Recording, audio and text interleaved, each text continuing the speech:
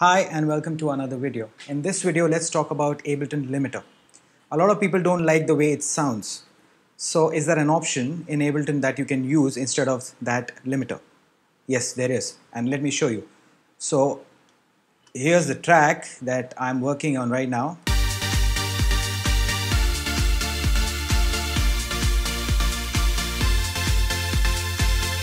So it's fairly balanced and uh, I want to send a copy to another artist. But before that, I want to get it onto a good level.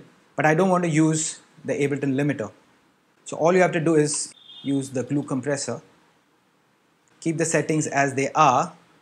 Click on the soft clip. And then all you have to do is increase the makeup gain.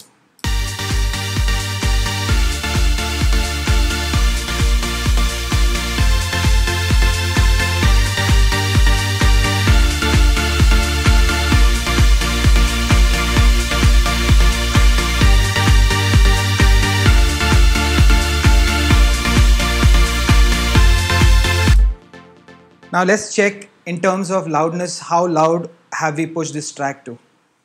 So let's uh, load a Youlean limiter meter and let's see before this plugin.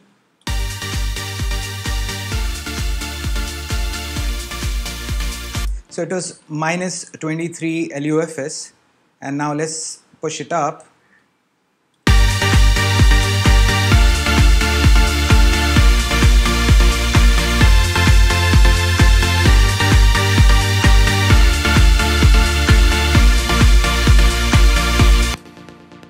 you can easily see you can make your tracks really loud and it does not distort like the Ableton limiter.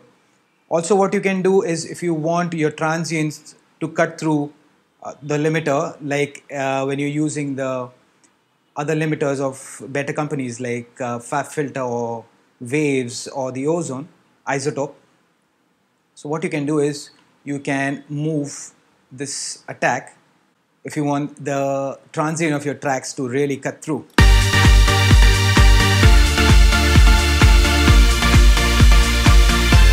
And you can reduce the release.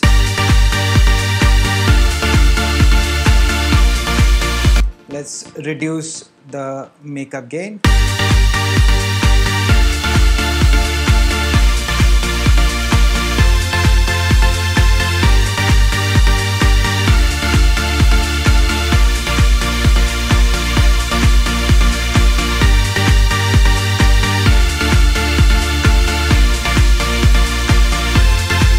So there you have it. You have another great plugin inside Ableton that you can use as a limiter.